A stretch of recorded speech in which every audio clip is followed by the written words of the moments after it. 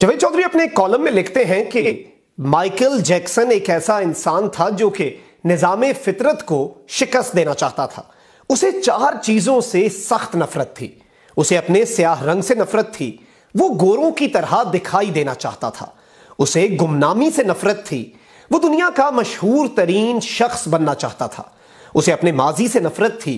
वो अपने माजी को अपने आप से खुरच कर अलग कर देना चाहता था। उसे आम लोगों की तरह सत्तर अस्सी बरस में मर जाने से भी नफरत थी।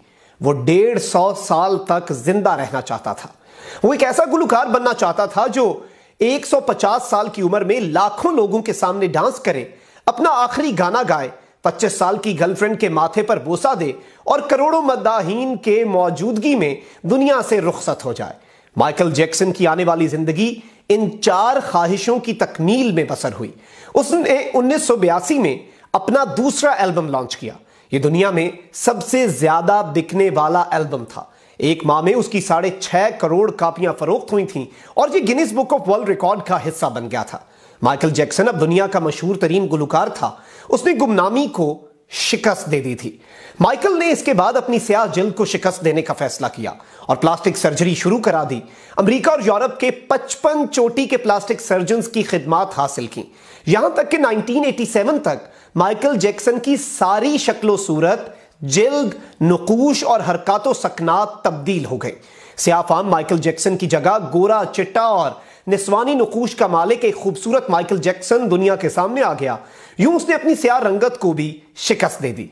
इसके बाद माजी की बारी आई। माइकल जैक्सन ने अपने माजी से भागना शुरू कर दिया। उसने अपने खानदान से कता ताल्लुक कर लिया। उसने अपने एड्रेस तब्दील कर लिए, उसने किराए पर गोरे माँ बाप हासिल कर लिए और तमाम पुराने दोस्तों से भी जान छुड़ा ली। इन तमाम इकदाम के दौरान जहाँ वो अकेला होता चला गया, वहाँ वो मसनू ज़िंदगी के गर्दाब में भी फंस गया। उसने यूरोप में अपने बड़े बड़े मुजस्मे भी लगवा दिए और उसने मसनू तरीके से एक नर्स के बतन से अपना पहला बेटा प्रिंस माइकल भी पैदा करा लिया और उससे ही अपनी बेटी पेरिस माइकल भी पैदा की। इसकी ये कोशिश भी कामयाब हो गई। इसने बड़ी हद तक अपने माजी से भी जान छुड़ा ली थी। लिहाजा अब इसकी आखिरी ख्वाहिश की बारी थी। वो डेढ़ सौ साल तक ज़िंदा रहना चाहता था। माइकल जैक्सन तवील उम्र पाने के लिए दिलचस्प हरकतें करता था। मसलन वो रात को ऑक्सीजन टेंट में सोता था। वो जरासीम वायरस और बीमारियों के असरात से बचने के लिए दस्ताने पहनकर लोगों से हाथ मिलाता था। वो लोगों में जाने से पहले मुँह पर मास्क चढ़ा लेता था। वो मखसूस खुराक खाता था और उसने मुस्तकिल तौर पर बारह डॉक्टर मुलाजिम रखे हुए थे। ये डॉक्टर रोज़ाना उसके जिस्म के एक एक हिस्से का मुआयना करते थे। इसकी खुराक का रोज़ाना लेबोरेटरी टेस्ट भी होता था और इसका स्टाफ इसे रोज़ाना वर्जिश भी कराता था। इसने अपने फालतू फेफड़ों, गुर्दों, आँखों, दिल और जिगर का बंदोबस्त भी कर रखा था। ये वो डोनर थे जिनके तमाम अखराज माइकल उठा रहा था और इन डोनर्स ने बवक्त ज़रूरत अपने आज़ा उसे अतिया कर देना थे। चुनाचे इसे यकीन था कि वो डेढ़ सौ साल तक ज़रूर ज़िंदा रहेगा। लेकिन फिर 25 जून की रात आई, उसे सांस लेने में दुश्वारी पेश आई। उसके डॉक्टर्स ने मुल्क भर के सीनियर डॉक्टर्स को उसकी रिहाइश गाह पर जमा कर लिया। ये डॉक्टर्स उसे मौत से बचाने के लिए कोशिश करते रहे। लेकिन नाकाम हुए तो अस्पताल ले गए। वो शख्स जिसने डेढ़ सौ साल की मनसूबाबंदी कर रखी थी, जो नंगे पाँव ज़मीन पर भी नहीं चलता था, जो किसी से हाथ मिलाने से पहले दस्ताने चढ़ा लेता था, जिसके घर में रोज़ाना जरासीम को शदवियात छिड़की जाती थी और जिसने 25 बरस तक कोई ऐसी चीज़ नहीं खाई थी जिससे डॉक्टर्स ने उसे मना किया हो। वो शख्स सिर्फ़ 50 साल की उम्र में और सिर्फ़ 30 मिनट में इंतकाल कर गया। उसकी रूह चुटकी के दौरानिए में जिसम से परवाज कर गई। माइकल जैक्सन के इंतकाल की खबर गूगल पर 10 मिनट में आठ लाख लोगों ने पढ़ी।